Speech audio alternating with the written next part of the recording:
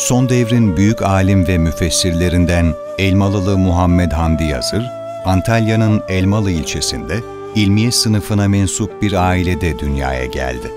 Hafızlığını ve temel dini ilimler tahsilini ilçesinde tamamladıktan sonra her ilim aşığı gibi onun da yolunun varacağı yer İstanbul'du. Payitaht İstanbul, ilmin, irfanın, medeniyetin de merkeziydi aynı zamanda. İlmin yolu İstanbul'dan geçiyordu. Beyazıt Camii'nde tahsilini sürdürürken kendi gayretleriyle edebiyat, felsefe ve musiki öğrendi. Arapça ve Farsçaya bu dillerde şiir yazacak kadar vukufiyeti vardı.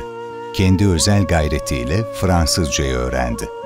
Bir ortamda Hüseyin Cahit'in medrese ulemasını küçümseyerek içlerinde bir tane Fransızca bilen çıkmayacağını ifade etmesi, Hamdi Efendi'nin çok zoruna gitmiş, bunun üzerine 6 ay gibi kısa bir sürede Fransızcayı felsefi çeviriler yapacak düzeyde öğrenmiş, daha sonra yeniden karşılaştığında sözü bir şekilde Fransızcaya getirip ileri derecedeki Fransızcasıyla Hüseyin Cahit'i ezmiş ve kendince ulemanın onurunu da kurtarmıştı. Hamdi Hoca, kelam ilmindeki derin birikiminin yanı sıra, batıdan gelen pozitivizm, materyalizm ve darwinizm gibi zararlı akımları sağlam temellendirmelerle eleştirebilmek için yine kendi çabasıyla batı felsefesini derinliğine öğrendi. Çünkü bir şeyi eleştirebilmek için önce o şeyi çok iyi bilmek gerektiğini iyi biliyordu.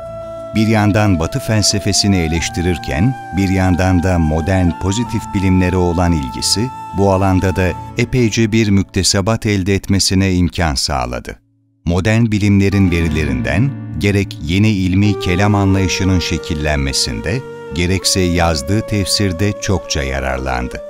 Bu çok yönlü büyük alim, tahsili esnasında devrin önemli hattatları olan Sami Efendi ve Bakkal Mustafa Efendi'den de hat dersleri ve icazet aldı. Adını hat sanatı tarihine de yazdırdı. Hamdi Hoca'nın başta İslami ilimler olmak üzere felsefe, bilim ve sanat alanlarında sahip olduğu entelektüel birikim, bir İslam alimi ve mütefekkirinde bulunması gereken nitelikleri göstermesi bakımından da güzel bir örneklik teşkil etmektedir. Ne Arabistan'a gittim ne de Türkistan'a. Ne İran'ı gördüm ne de Frankistan'ı.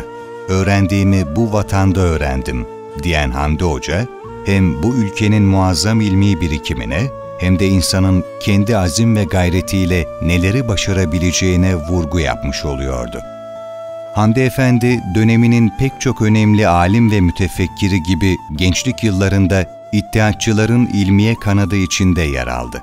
Siyasi kimliği ona, henüz 30 yaşındayken 1. Mebusan Meclisi'nde mebusluk kapısını açtı. Bir dönem Efkaf Nazırlığı yani bakanlık yaptı. İkinci mecliste hiçbir İslamcı alime yer verilmediğini gördüğünde, dönemin pek çok alimi gibi o da iddiatçıların iç yüzünü anladı. Cumhuriyet kurulduğunda daha önce çalıştığı bütün kurumlar kapatıldığından boşta kaldı ve eski bir vekil ve bakan olarak büyük maddi sıkıntılar yaşadı.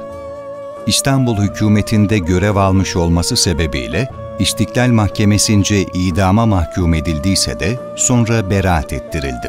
Şapka kanunundan sonra şapka takmamak için bir daha sokağa çıkmadı ve münzevi bir hayatı tercih etti. Dönemin yönetiminin kendi din anlayışının uygun bir Türkçe meal ve tefsir hazırlatma projesi üzerine Diyanet İşleri Başkanı Ahmet Hamdi Akseki'nin meal işini Mehmet Akif'e, tefsir işini de Elmalılı Muhammed Hamdi Yazır'a tevdi etmesi bu projeyi ve bu oyunu boşa çıkardı. Hamdi Efendi, Hak Dini Kur'an Dili ismiyle son devrin en önemli tefsir şaheserlerinden birini kaleme aldı. Bu dev tefsirde ehli sünnet çizgisine uygun sahih bir genel perspektif ortaya koydu. 1942 yılında vefat eden Hamdi Hoca, İstanbul Erenköy Sahra-i Cedid Mezarlığı'na defnedildi.